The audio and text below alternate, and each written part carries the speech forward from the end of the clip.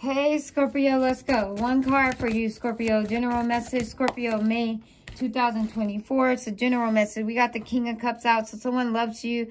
Very passionate, very romantic, lovely, you know, loving you, okay? They have a lot of love for you.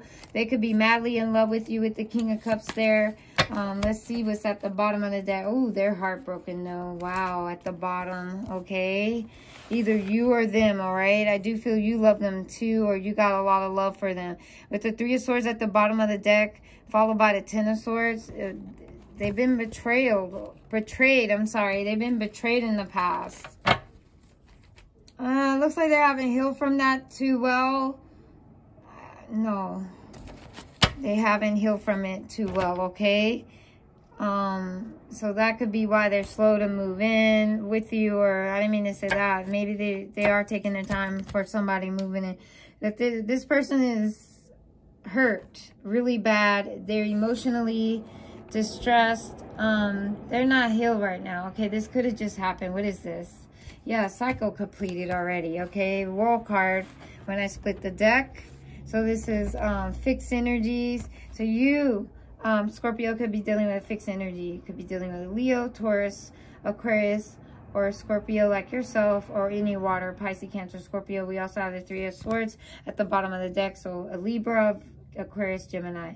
So it lets me know that you guys, um, this person's been through a lot in his last cycle. He could be coming out of a divorce. He could be coming out of a marriage. I mean, whatever this is. Yeah, he, he had an investment. He could have been married.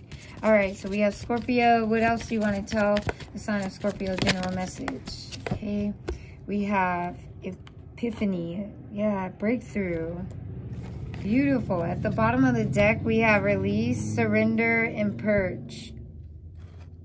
Oh, he's done. Your guy is done, though. He is heartbroken right now, okay? So give him time to heal. He does love you, but he's been through a lot, okay? Anything else that this um, person want to let Scorpio know? Or Divine Masculine. I forgot. These are Divine Masculines. He is a Divine Masculine. We have ego and vanity and pride. Then we have control, tactics, and we have limitations, and then we have fears. Okay, so th that's what I'm saying. You know, he's scared of getting hurt again. He knows there's victory with you. And, you know, that's what I'm seeing in the deck. He knows that you're it. You're the person he's supposed to be with or something like that. And he does love you. He has love for you, but he is feeling, um, he's got to heal. Look at at the bottom of the deck, guys. Healing, and it says inner child. So this person has a lot of inner child issues at the bottom of the deck. So something could have happened when he was a child.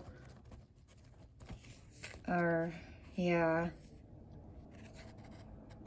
He's healing his inner child at the bottom of the deck. He's heartbroken though right now until he heals up. So I say definitely, um, Scorpio, your person is on their way healing. They're healing right now. So that is all I have for you guys. And it's after this tough cycle. It was a tough cycle, tough ending.